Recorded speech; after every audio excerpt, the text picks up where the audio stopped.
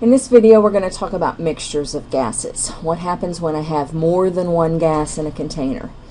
If we go back to what does a gas look like in a container, for example we see here a container filled with uh, dots representing the particles of the gas. Remember that from the kinetic molecular theory they're moving rapidly uh, in constant motion and their volume is negligible compared to the volume of the container. I have not drawn it to scale. I can't draw it to scale. Um, what happens if we add a second gas to the mixture? Let's say now our sample of gas looks like this, where we have added the green dots. These are different particles, particles of a different type of gas into our container and now the red and the green are both bumping around in the container. Again, um, the theory is they're all in constant random motion. They're going to end up being the same temperature. They're con contained in the same volume, but the particles volumes themselves are negligible compared to the volume of the container. Even if I add a third gas to the mixture, now I'll add some purple dots, I still have particles moving in constant rapid random motion, bouncing against each other in the walls uh, elastically, and the volume of all of these particles is negligible compared to the volume of the container. So essentially, it doesn't matter what each particle is. It doesn't matter uh, what the green particle is, or the red particle, or the purple particle. This all acts as particles in a container, and PV still equals nRT. PV equals nRT is our ideal gas law. It dictates the behavior of gases. It looks at the relationship between pressure, volume, moles, and the temperature in terms of the ideal gas constant. And this still works even if I have several different gases. However, I have to take into account the several different gases through the variable the number of moles and the pressure of each individual gas. So we're going to introduce an idea of a partial pressure. A partial pressure, you may have come across this before looking at solutions.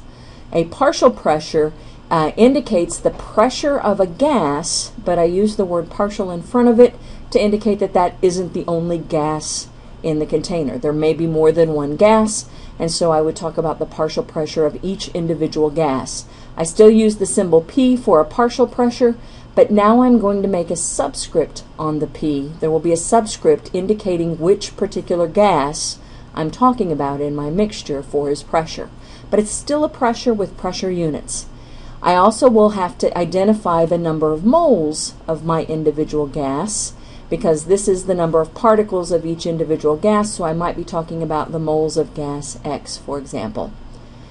Um, there was a man who was studying this. His name was Dalton, and Dalton looked at the relationship of mixtures of gases, and he looked at how the pressure and the volume and the temperature varied, and what he discovered was that the total pressure of all the gases in a mixture is simply equal to the individual pressures added together.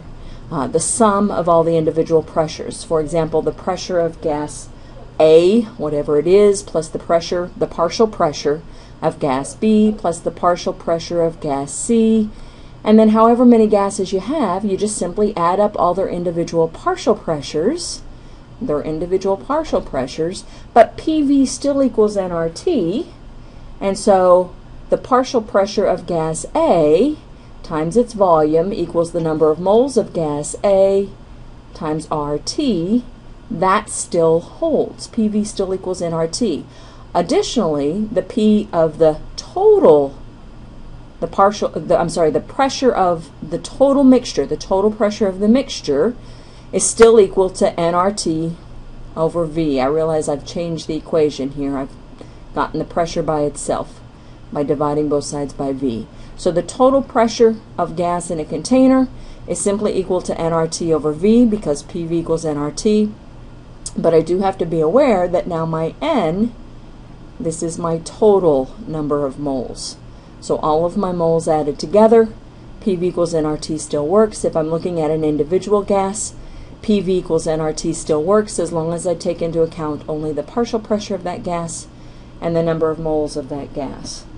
And so now I have a way to handle the pressures of gases in a container, or I can look for the total pressure of the gas in a container um, by using Dalton's law.